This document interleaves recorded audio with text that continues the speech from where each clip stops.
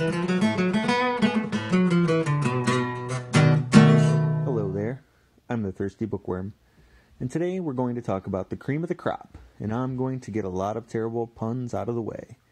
Today, I will be reviewing Mellow Corn. I hope you're all ears on this one and don't think I've gone too corny. Make sure you stay tuned until the end for a leaked Mellow Corn release you will only find here. This is the Whiskey Talkin'. Mellow Corn is part of the Heaven Hill family and is distilled in Bardstown, Kentucky. It is a straight corn whiskey that is also bottled in Bond, James Bond. To meet the requirements to be straight corn whiskey, the mash bill needs to be at least 80% corn, and, if aged, it must be done in a used or uncharred oak barrel, thereby ensuring it cannot cross into the realm that is bourbon. To meet the requirements of bottled in Bond, James Bond, it needs to be distilled at one facility in one season by one distiller and aged for at least four years. Furthermore, it needs to be bottled at 50% alcohol by volume, and 007 needs to have impregnated a woman in the Rick House during that same season. It also needs to be aged in a government warehouse, just like the rest of us.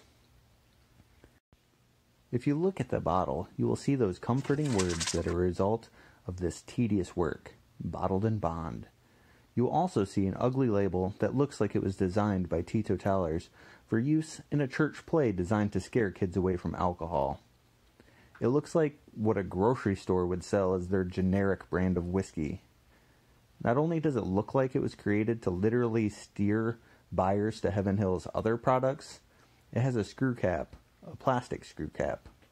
I'm genuinely surprised that the bottle isn't made of plastic. But not just any plastic.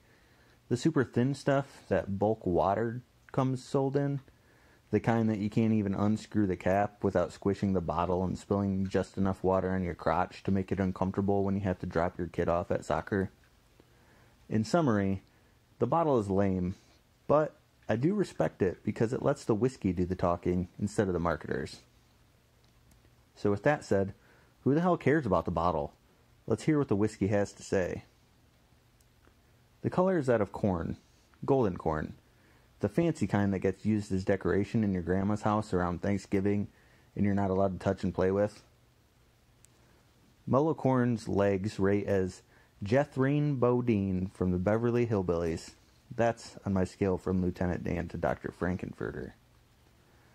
Heaven Hill's website says the nose is oak and delicate spice. My wife detects a fruit of some kind, like maybe apple or pear, definitely rubbing alcohol. Something floral, but I don't know what it is. While I personally found alcohol fumes, oak, okay, they actually had a pretty good nosing notes on this one. Not a lot. Taste full bodied and textured with a softly spiced sweetness. Finish sweet and chewy like Barbadian rum. At least that's what the marketers say. I'm more inclined to say hot.